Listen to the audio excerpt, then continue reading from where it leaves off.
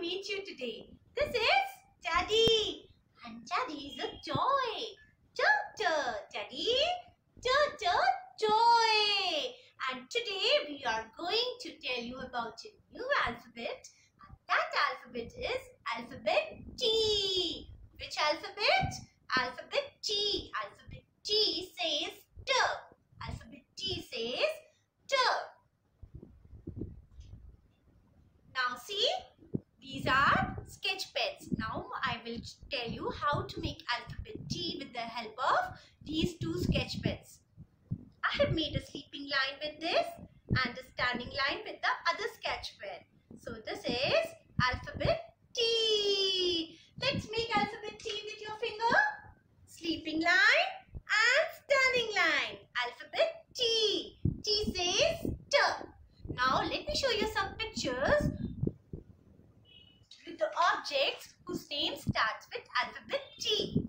Alphabet T. This is table. T, T, table. Torch.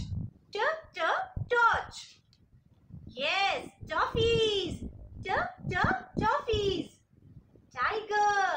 T, T, tiger. And this is tree. T, T, tree. Now let me tell you how to write alphabet T in your four lines copy. Now see this?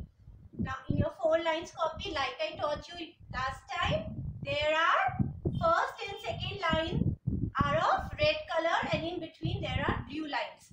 Now when we write capital letters in the four lines copy, we will always write on the first three lines and we will never write on the last line. Okay? So what we will do? We will do, we will first make a sleeping line on the first red line and then a standing line down. This is how we write alphabet T. Let's do it one more time. Sleeping line on the first red line. Take a center point and come down and touch the second blue line. This is alphabet T. T says T. T, T, tree. T, T, tea and T, T, toffee. Now children, I want you to practice this today.